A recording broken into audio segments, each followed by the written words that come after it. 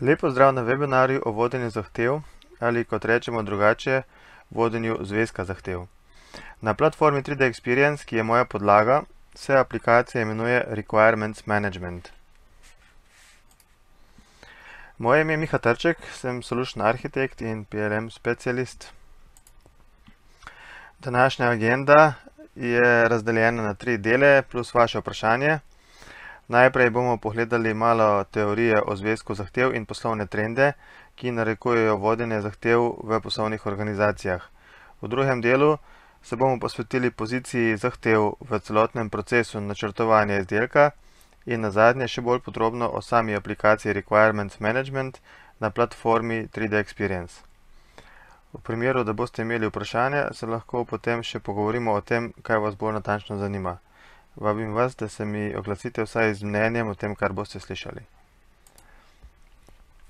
Torej, najprej poslovni trendi. Inženiring zahtev. To je interdisciplinarna funkcija za posredovanje med področji kupca in dobavitelja in ima namen, da vzpostavi in vzdržuje zahteve, ki jih mora izpolnjevati izdelek, ki je lahko tudi programska oprema ali storitev.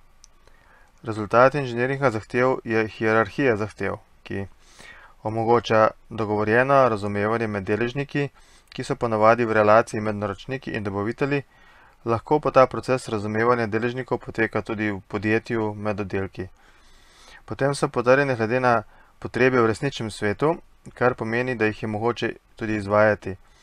In zato lahko zahteva eh, zagotavlja osnovo za načrtovanje in preverjanje 3D modelov ter za sprejemanje rešitev.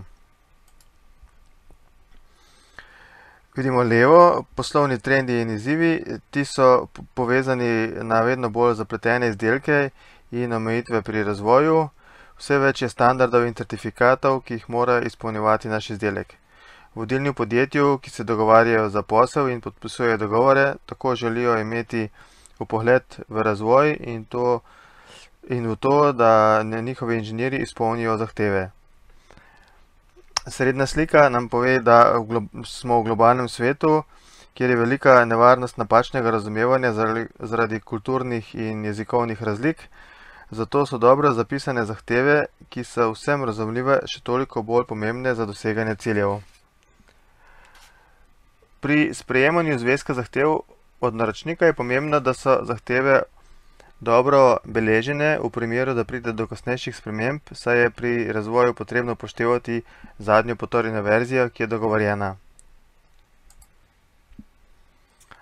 Nekaj primerov raziskav na temo vodenja zahtev in vpliva na celoten proces razvoja v podjetju.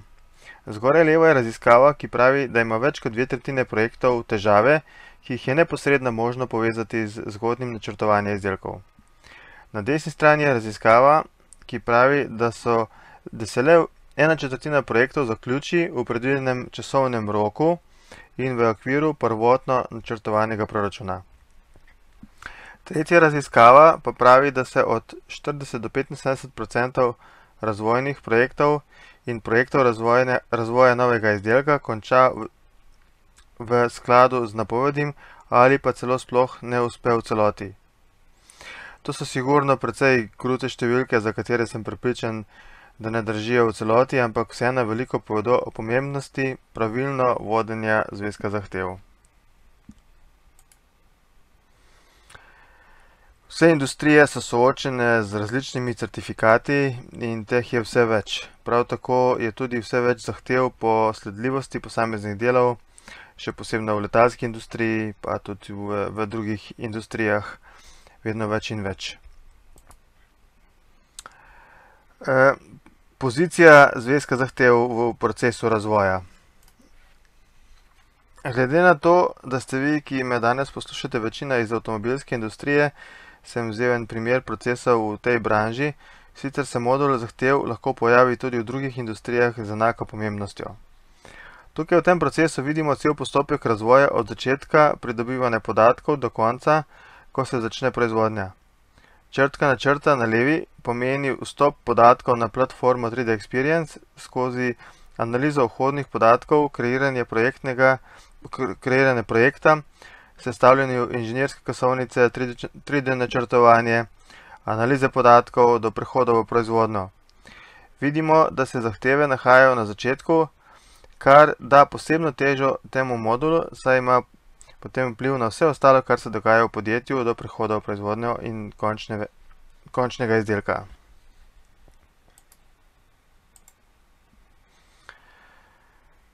Podatkovna struktura zvezka zahtev je sestavljena iz več različnih objektov. Od zgornjega nivoja, ki se imenuje requirement specification, to je specifikacija zahtevka, do poglavi ali chapterjev, ki omogoča združevanje tematsko podobnih zahtev v neko organizirano skupino. Potem imamo tukaj objekt zahteve, ki opisujejo dejanske zahteve in tudi te so lahko razdeljene v večnivojsko drevesno strukturo. Določeno zahtevo lahko razčlenimo na več podzahtev.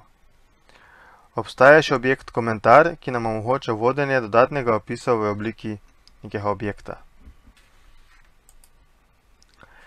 Na tej sliki vidimo pot ali zrelost podatkov, kot to izgleda na platformi 3D Experience. Vidimo, da so v začetku zahteve, ki so razdeljene še na dva podsklopa. Zahteva imajo v sebi še funkcijsko in logično definicijo izdelka.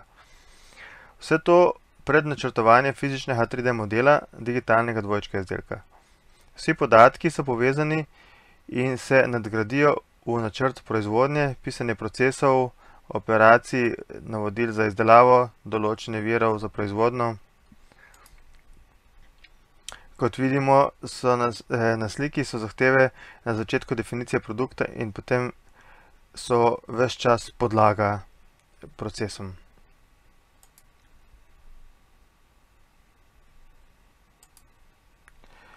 Vloga Katia 3D Experience v tem procesu je lahko namenjena bolj bogatemu nadzorovanju upeljave zahtev v načrtovanje. Glasovnica se, zgradi, se gradi iz vseh bolj znanih CAD orodij, ki so lahko direktno povezane na platformo, vendar, če so zahteve zelo pomembne, se pogosto spreminjajo in vplivajo na načrt, je smiselna uporaba RFLP funkcionalnosti, ki jo ponuja Katia 3D Experience. RFLP proces je načrtovanje 3D izdelka od zgoraj na vzdolj. Najprej se zapišejo potrebe v tekstovni obliki, zahtev za načrtovanje izdelka, potem se določi funkcijske zahteve, ki naj bi bile, ki naj bi izdelek, kar naj bi izdelek omogočal, potem logično definicijo izdelka in nazadnje kot rešitev v tem procesu nastane 3D izdelek, ki upošteva vso prejšnjo definicijo.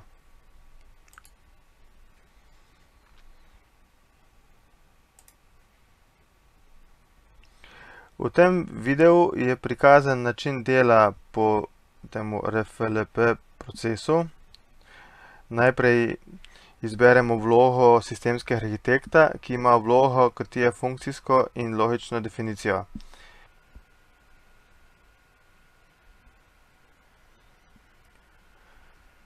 Vidimo, da smo odprli aplikacijo 3D, Katia 3D Experience in da imamo že nastavljeno RFLP strukturo.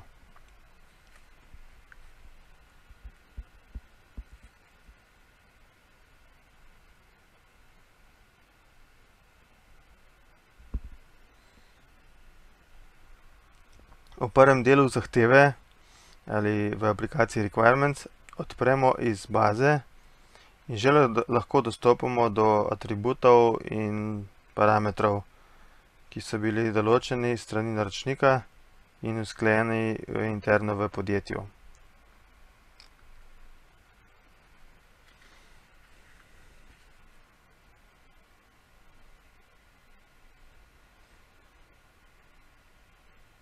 Tukaj lahko urejamo strukturo.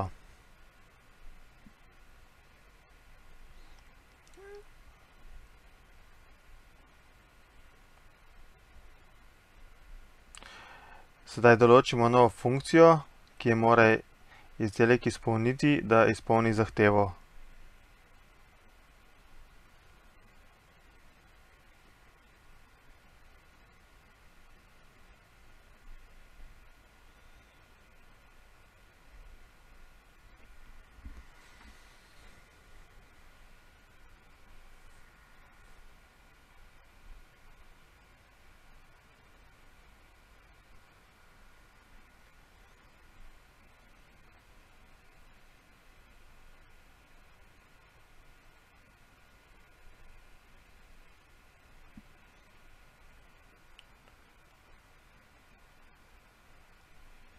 Funkcije so lahko razdeljene tudi v podfunkcije.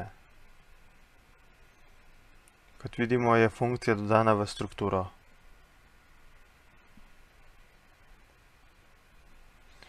Z določitvijo relacij med zahtevo in funkcijo nam pomaga ustvariti povezave v kontekstu in s tem sledljivost v procesu do končne izdelave izdelka.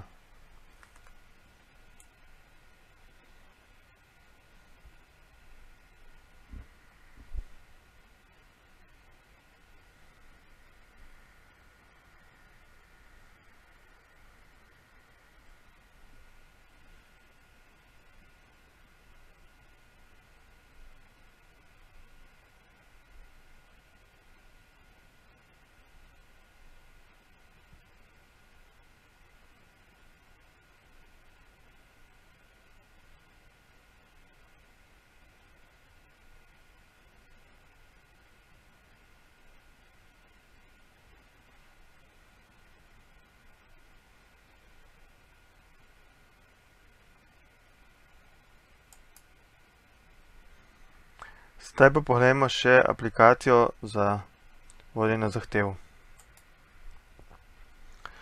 Proces poteka zahtev v aplikaciji gre po desetih korakih. Začne se s kreiranjem ali prejemom zvezka zahtev od zunaj, preko integracije z Microsoft Office, zahteve nadzorovano uvozimo na platformo 3D Experience, nato jih uredimo in strukturiramo. Sledi razčlenitev zahtev in določitev uporabnikov, ki jih bodo upoštevali v svojem procesu izdelave izdelka. Naslednji korak je kreiranje testnih primerov in primerov uporabe, ki so del procedure obdelave zahtev. Nato sledi povezava zahtev na 3D modele in delo z RFLP aplikacijo. V primeru sprememb se kreira nova revizija zahtevka in s tem, da je potrebno zahtevo procesno zaključiti in nato se lahko kreira nova revizija ne more biti več revizij zahtev v enakem statusu, ker to nima nobene realne osnove. Sledi še kreiranje poročil za sledenje in postopek odobritve zahtev za nadaljne delo. Inženirski postopek cikla zahtev poteka od zajema zahtev, analize in razlage zahtev naprej v preverjanje izvedljivosti in potrditev. Kot smo videli že v prejšnjih slikah, sledi upravljanje zahtev na način preverjanja sprememb in vplivov na proces, potem spremljamo napredek pri izvedbi aktivnosti na podlagi zahtev in na koncu kreiramo poročila sledljivosti. V praktičnem smislu upravljanje zahtev je zelo pomemben korak zajema zahtev iz zunanjega sistema na platformo 3D Experience, kjer je potem spremljanje nadaljno kjer potem spremljamo nadaljno pot v življenjskem ciklu. Zajem zahteve iz Worda ali Excela je zelo enostaven in s par kliki določimo poglavja, zahteve, pod, eh, podzahteve ali komentarje v besedilu in z gumbom uvozi spremenimo besedilo v objekte na bazi. Na platformi imamo več možnosti urejanja zahtev na način nadaljne obdelave. Urejevalnik z možnostjo urejanja bogatega besedila nam pomaga pri lepšem izgledu besedila, tako da lahko pomembne dele pobarvamo ali posebej označimo. Določenje testnih primerov in primerov uporabe je funkcionalnost, ki pripomore k analizi izvedbe oziroma k načinu, kako se bo zahteva načrtovala. Testne primere in primere uporabe povežemo z relacijami v strukturo, tako da vemo, katera stvar ima vpliv. Testni primeri in primeri uporabe so lahko shranjeni in se lahko uporabljajo za preverjanje večjih zahtev.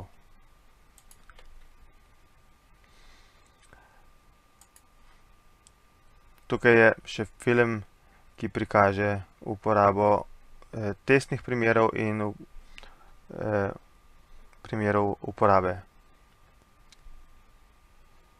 Sedaj bomo kreirali nek, neko testno zahtevo. Najprej pa je potrebno zahtevo spraviti v primeren eh, maturity zrelostni, eh, zrelostno stopnjo.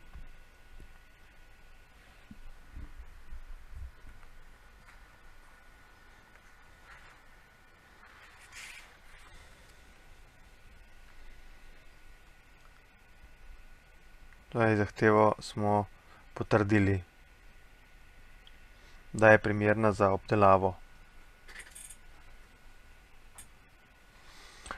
Sedaj bomo s parimi kliki po aplikaciji kreirali testni primer za to zahtevo.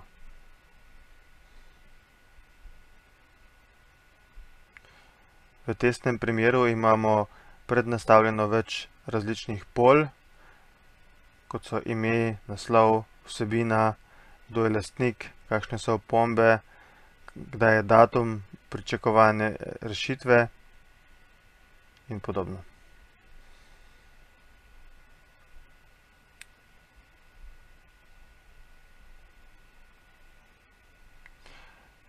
Kreirali bomo še en testni primer na podoben način kot prvega. Sedaj bomo kreirali še primer uporabe.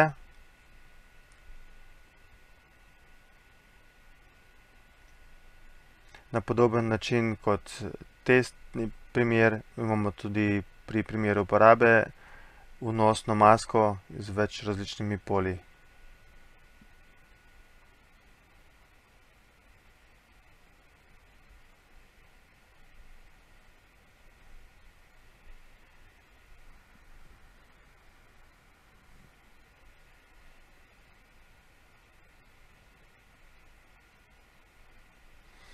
Podobno kot smo kreirali prvi primer uporabe, bomo jih kreirali še več.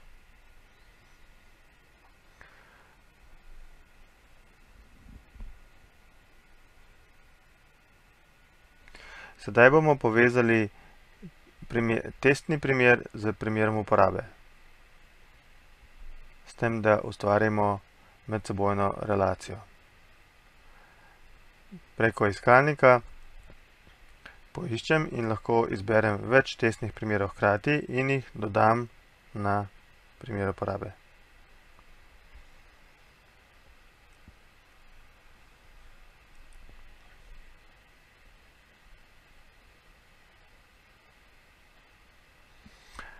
Sedaj bomo kreirali še poročilo o sledljivosti.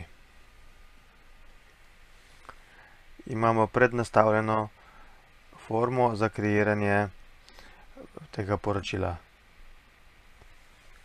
Tako nam pomaga, da lahko, da imamo sledljivost zahtev čez cel življenjski cikel.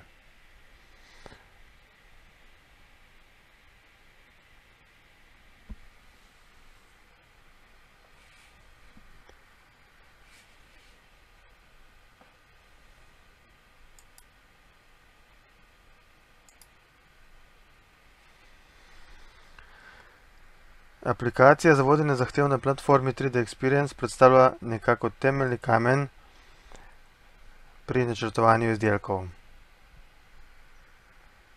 Lahko se poveže na simulacijo zahtev, za preverjanje skladnosti zahtev, za dodatno optimizacijo. Tudi parametri imajo svoj življenjski cikel in tako se povežejo različne službe v podjetju. Zahteve so lahko povezane tudi na portfelj izdelkov, ki jih ponujamo ne samo na posamezen naročen izdelek. Postopek preverjanja s pravili znanja je povezan s katero 3D Experience, kot smo to že videli skozi prezentacijo. Zahteve je potrebno tudi urejati, da se jih lahko najde na aplikaciji. Imamo orodje za urejanje in filtriranje zahtev, kar omogoča, da se ne izgubimo med različnimi zahtevami in lahko spremljamo, kaj je za nas kot uporabnike aplikacije pomembno.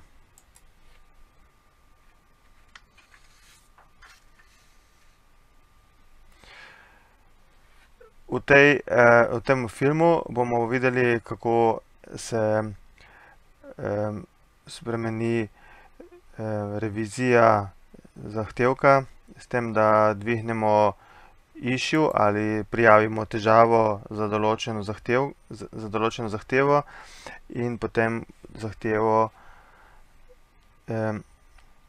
zaključimo in naredimo novo revizijo. Najprej bomo odprli zahtevo in kreirali, prijavili težavo. ali issue.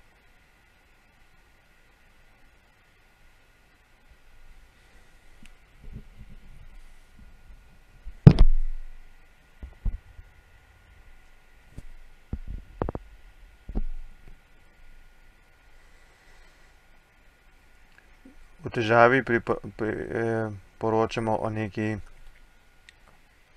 o ra, rotorju, radiusni pravi. V sami težavi tudi določimo prioriteto in tip same težave. S tem, ko smo to eh, kreirali, sedaj določimo uporabnika na sistemu, ki bo to težavo pregledal.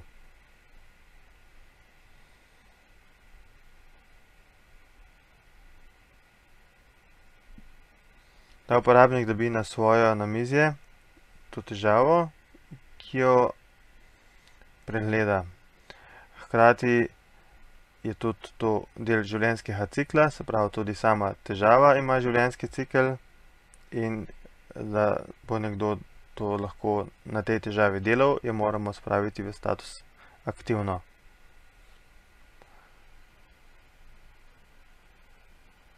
Tukaj vidimo življenjski cikl in revizije zahtevkov.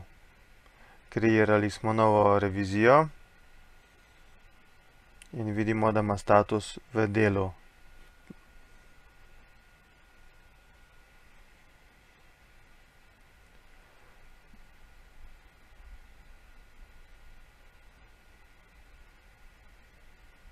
S tem, ko smo napravili novo revizijo na zahtevku, smo zaključili delo na težavi in v komentarje napišemo, kakšen je rezultat te težave.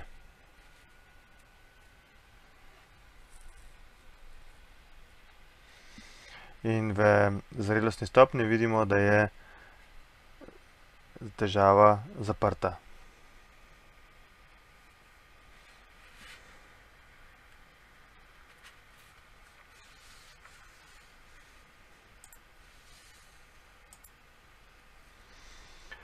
Povezava zahtev na aplikacijo spremembe ima v življenjskem ciklu pomembno vlogo. Vsak poseg v spremembo našega izdelka je smiselno voditi preko aplikacije Change Management oziroma vodenje sprememb. Tako postane zahteva v verigi načrtovanja kot, kot člen celotnega procesa. Aplikacija vodenja sprememb ima več nivojev od issue objekta, torej, ki opisuje neko težavo, ki jo je zaznal kdorkoli, ki je povezan na platformo. Drugi objekti, ko so change request, change order, change action, so namenjen vodenju spremembe in so odvisni od narave in vpliva spremembe na naš izdelek. Ta proces je ponovadi definiran v vsakem podjetju posebej. Za bolj podrobno obrazložitev spremembe je potreben poseben webinar, ki ga mogoče organiziramo v prihodnje, če bo za to zanimanje. V podjetju je lahko več sistemov za vodenje zahtev, zato je pomembno, da je aplikacija na platformi 3D Experience odprta za izmenjavo med sistemi. Najbolj tipični so primeri, kjer je, izdelek, kjer je v izdelek vključena več disciplin, kot so mehanska, elektronska, programska.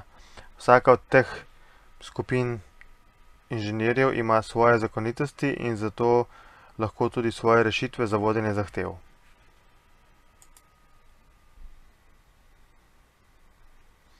Upoštevanje industrijskih standardov v kombinaciji s povezavo zahtev na zunanji sistem nam olajša preverjanje pravilnosti izvedbe zahteve.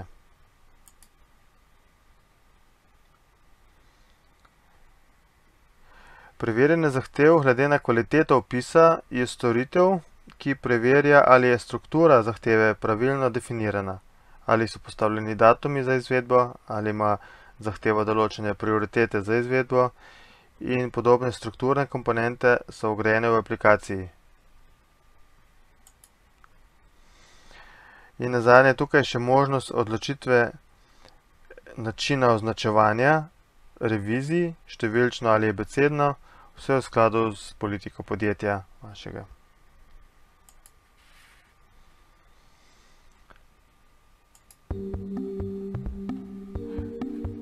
Tukaj imamo sedaj še en video.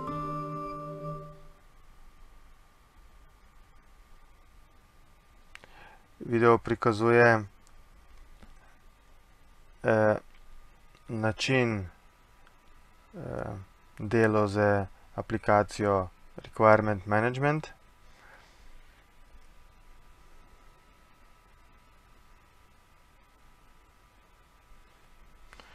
Odpremo specifikacijo zahtev in jo z drag and drop nesemo na to aplikacijo.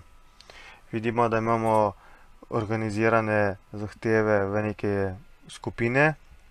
Na desni strani imamo vsebino, na levi strani imamo strukturo objektov in s klikom na vsebino se nam osivi tudi za katero zahtevo to gre na levi strani in obratno.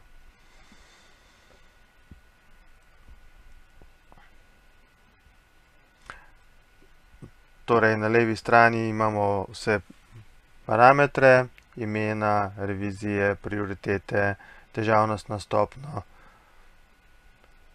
To je neka ID kartica zahtev. Na desni strani imamo vsebino zahtevkov in tukaj urejamo z urejevalnikom za bogato besedilo. Lahko dodamo novo zahtevo ali ponovno pišemo še dodatno besedilo za zahtevo in lahko označimo z barvo, da je bolj vidno. Uporaba je zelo preprosta, z dvoklikom ali z desnim klikom prikličemo atribute. Lahko tudi zahtevo odpremo nazaj v Word aplikaciji. Za usklajevanje tudi mogoče z naročniki. Med zahtevami lahko ustvarimo neko določeno relacijo, ki je navzgor ali navzdol. S temi relacijami povemo, katera zahteva ima vpliv na drugo zahtevo. In če se izpolne ena zahteva, s tem tudi posledično druga, ki je nadrejena.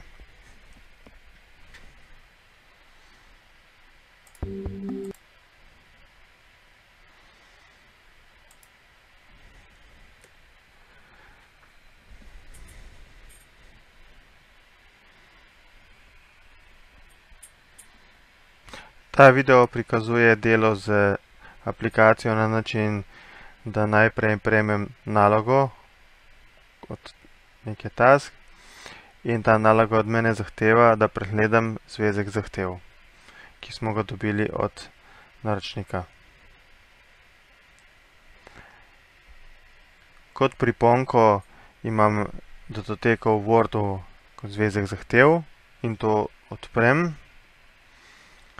In potem z označevanjem, ki je tudi barno obohateno, opremim Word datoteko s tem, da povem, kaj od tega je poglavje, kaj od tega je zahteva in kaj je komentar.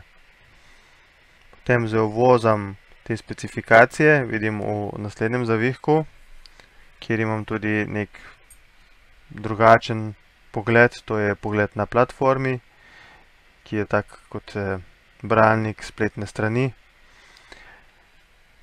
Še dodaten pogled, ta zadnji, ki pa mi pokaže objektno strukturo zahtevkov. Ta je najbolj pomemben, ker ta ima svoj življenjski cikel.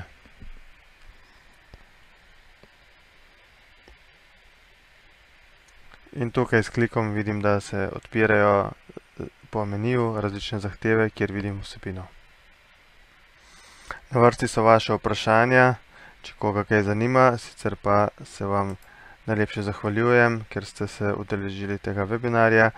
Hvala lepa in nasvidenje.